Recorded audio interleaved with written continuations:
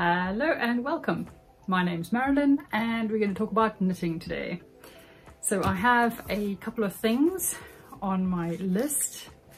Always keep a list of things that I'm busy working on. It's basically a copy of my Ravelry account. Um, Ravelry is where I keep everything. Um, but I always make a note in here too because sometimes if it's a paid for pattern you don't want to write too much. Uh, anyways, Finished objects. So, um, this one was a labor of love.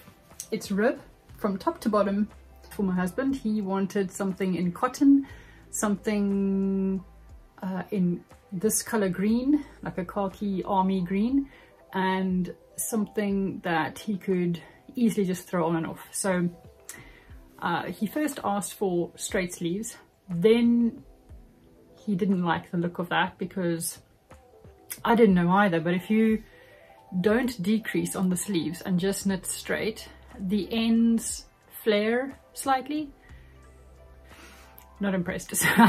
so I pulled back about to there and then re-knitted with some decreases, which uh, he likes a lot. So he will wear this a lot more now that I've amended the sleeves. Um, the end is not an I-cord bind off um, I thought I'd try something a little bit different, different to me anyway, but it seems like this secret bind off, the Icelandic bind off. Um, I heard, um,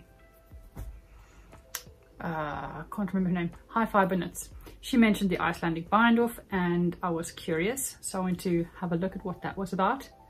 Um, plenty of videos online, but I'll, I'll uh, insert a little clip here of how exactly you do that. So um, you knit the stitch and then slip it back on backwards um, and then knit the second stitch on the needle, on the left needle, through the first needle and then slip it off. Uh, and then that stitch you slip back on backwards and keep going. So it sounds very confusing, but really and truly it's super easy and probably one of the fastest bind offs um, in my opinion, with a really nice neat edge. It kind of looks like a one stitch I-cord bind off, but it's not. It's the Icelandic bind off, which is like pretty cool. pretty cool, I thought. And I don't know why I don't see it more often because yeah, it looks nice. I like it. Anyways, I did a double folded collar um, and sewed it in as I went plenty of videos showing how to do that, uh, which makes it for which makes for a very neat collar. Um, and um, I kind of designed this as I went along. I was kind of loosely following um, a free Garn Studio pattern, uh, men's size, so I cast on all the men's size uh, measurements for a medium. Um, but then just, it was a simple raglan. So I did a, a simple raglan increase on each side but it was pretty tricky um, to keep it in pattern. For some reason I don't know with with without making it look untidy. Where's the light shining that way? Um, anyway so it managed to work out. Um, there are one or two areas where it's not so neat like over there. I'm just being over the top about it. I don't really need to worry too much because no one's going to look too closely at my raglan seams so anyway, that's that one. It's nice and long. Um, and because it's cotton, it will um, stretch out so you can see the, the ribbing, hopefully. That's a lot of ribbing. um, and of course, I thought I was done and then had to um, pull back the sleeves. So that's that one. First sweater I've knit for like man size. Um, I usually do things for my boys. Um, my young, my oldest has plenty, plenty knitted raglans, um, but only recently, by that I mean maybe two years, three years ago. Um, so I've been knitting for about, I don't know, 20 years, but two, three years ago, so that's relatively recent for that time frame. Um, the all-in-one, what's it called, in the round raglan became more popular and I was like, oh, that's so much better than knitting in pieces and sewing it together, which is what I always did. Um, so this one is knit in the round, top down. Um, it's nice and wide. It's got a very cute style. Um, I'll put a picture in of my youngest wearing it. He's super happy with it. He likes the colors, likes the stripes. Um, I did a, yeah, no, normal bind off. Normal, no, Icelandic bind off for this one too. Uh, yeah, it's a favorite of mine now. And also on the sleeves, Icelandic bind off. So you can see it's quite small. Um, so they're very cute sleeves. They're tiny, only like that big, that big. And uh, the body is really super wide. So he looks um, very cute in it. And then I just put three X's to mark the back and little detail there. Three little hearts. So that's um, his little top. And it's kind of loosely um, based on good old raglan, something like that. Um, what's it called? Good old, um, very nice pattern and very easy to follow. But I did modify it with the double folded collar again. I think it looks super neat. And uh, also picked it up and bound it off as, you, as I went along. So it's super neat on the inside too. Um, I'm slowly starting to uh, neaten up the different elements of a sweater. So like the, the raglan edging is getting neater and neater every time I do it. And I'm learning which style um, I prefer the best. This one, two stitch raglan. Yeah, two stitch raglan. And then the neat insides here. So if anyone did see inside, it would be neat and tidy. Um, double folded collar, you can actually see a color change there. Um, and then the bind off. Icelandic bind off is my new favorite. Um, but actually I prefer the I-cord bind off um, for some things. Yeah. So those are my two finished objects for this video. Um, this was a stash buster. So I had a lot of acrylic DK weight yarn left over from various projects. Um, actually from my other son's sweaters that I've done for him over the years. So I put it together in one and I love the coloring. It looks like a stone looks like a stone wall or something um, with the greens and the browns and the beiges. Um, actually, this green has a variation in color. You can see um,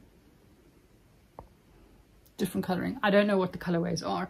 Um, like I said, it was a stash busting one. So glad that is, it used up three skeins in my stash. So that was brilliant. Um, what I did was I finished up the sleeves first and put the body on hold on a cord and then I finished up the body with whatever was left over because I wanted the sleeves to kind of match but you can actually see that the sleeves don't match um, oh well no one's gonna know and if they do know why are they looking so closely at my knitting so the third project uh, that I'll talk about today is the progress on my kudzu cardigan. Uh, I spoke about it last time. It's in Drops Nord. Um, it's slightly thicker than a DK weight. Is it an Aran weight? I don't know. But it's knit on 5mm needles.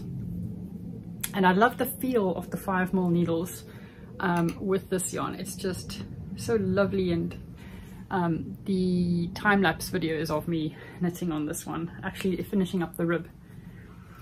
So again, Icelandic bind off the bottom.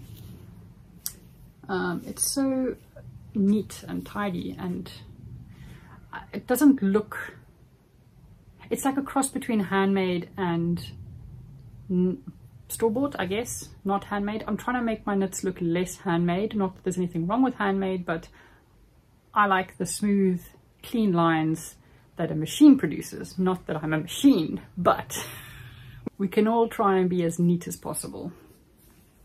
So that's that one. Um, so I finished the sleeve on the one side. Here's my sleeve and it's fitting really well. It's pretty straight. It's got five decreases going down the sleeve. It's a free pattern, by the way, so I can talk about the decreases. It's got five decreases going down the sleeve and then a whole bunch at the end before the cuff. So the cuff I did in twisted rib. Um, it just gives a neater finish.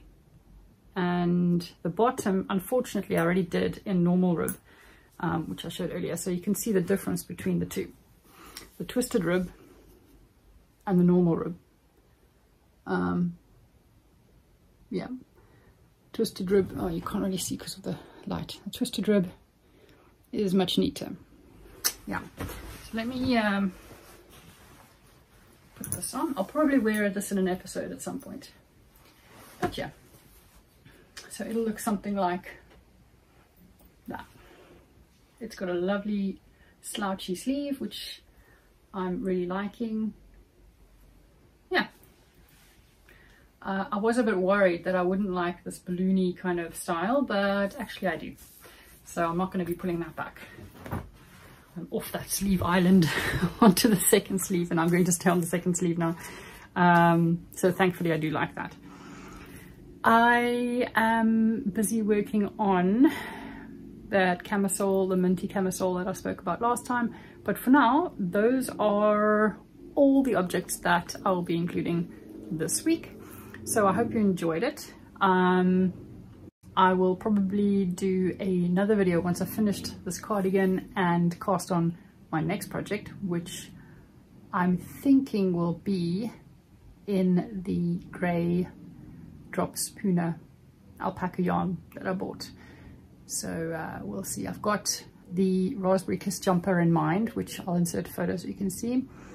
It's also on my Ravelry list waiting. You know what? I don't think anybody said Ravelry first time through. It's like Ravelry. anyway, it's on my queue there. It's been on there for a while. I really want to start that. So that is uh, what I'm doing. And uh, I keep looking down my notes because I don't want to forget anything, but I think that's it. So uh, I hope you enjoyed this week's episode and uh, I will see you again soon.